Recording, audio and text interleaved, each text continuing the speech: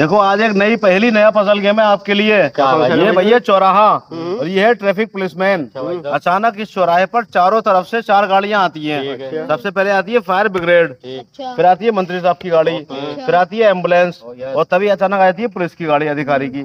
अब आप ये बताओ ये ट्रैफ़िक पुलिस वाला सबसे पहले रास्ता किसको देगा? किसको देगा?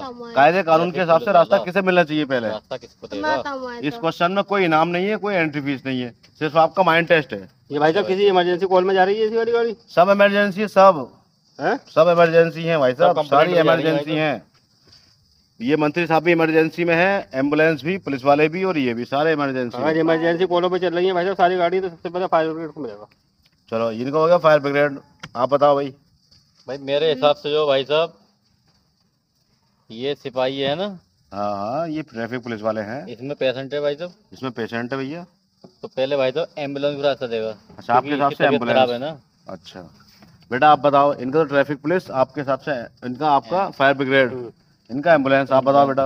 मैं बताऊँ भाई साहब वो है पुलिस। सबसे पहले पुलिस को? स्टाफ को देगा आपने। स्टाफ स्टाफ को? लेकिन स्टाफ से बड़े तो मंत्री साहब मौजूद हैं फायर ब्रिगेड है एंबुलेंस है लेकिन चलो जवाब आपका है। आपका हुआ फायर ब्रिगेड भी आ आपका हुआ एंबुलेंस इनका हुआ पुलिस स्टाफ एंबुलेंस की आवाज़ भी आ देखो गई भाई इसका सही जवाब मुझे भी नहीं पता। हाँ। इसलिए मैंने आज कोई इनाम नहीं रखा इस पे ना ही हाँ। कोई एंट्री फ़ीस ली।